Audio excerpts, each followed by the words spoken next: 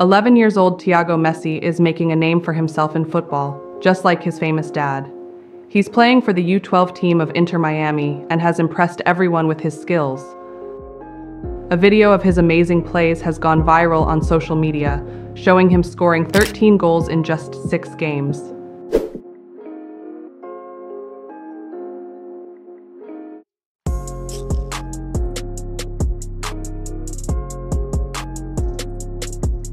What do you think Thiago Messi plays like?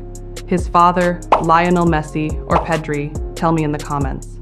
It's creating a lot of excitement as Thiago seems to be following in his father's footsteps in the world of football.